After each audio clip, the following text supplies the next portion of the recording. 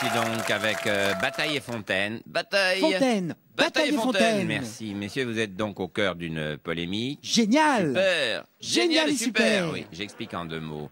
Un homme quitté demande à renouer avec son ex-femme sur votre plateau. Ah ouais, très émouvant. L'ex-femme refuse de venir si c'est pour voir son ancien mari. Vous lui mentez.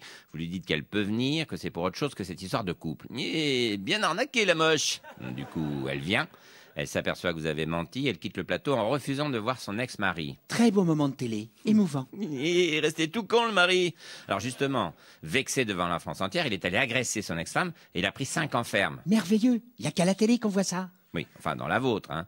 Euh, du coup, le juge a critiqué votre émission parce qu'elle joue sur la sensiblerie des personnes. Oui, oui, c'est Et vrai. que, en exposant crûment la vie des gens et leurs problèmes, vous pourriez être responsable d'actes violents. Et les gens, vie de merde, les gens, misérables. Et- Mais que nous reproche-t-on? Nous voulons le bien. Nous voulions recoller un couple.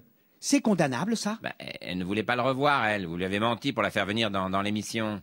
Oui, un peu. Mais sinon, elle serait pas venue. Débile, la femme, elle gobe tout, niais. Et puis, c'est mieux qu'elle le dise devant les caméras qu'elle ne l'aimait plus. Comment ça, c'est mieux? Il l'a violée et battue. Pour elle, c'est mieux? Ah non, pour nous, c'est mieux. Niais, 33% de part de marché. Le cocu, 33% il a fait. Niais. Enfin, mais c'est horrible. Oui, c'est vrai. S'il l'avait violée sur le plateau, on pouvait monter à 40%. Niais, à l'hôpital, la moche. Niais, le cul en chou-fleur. Non, non.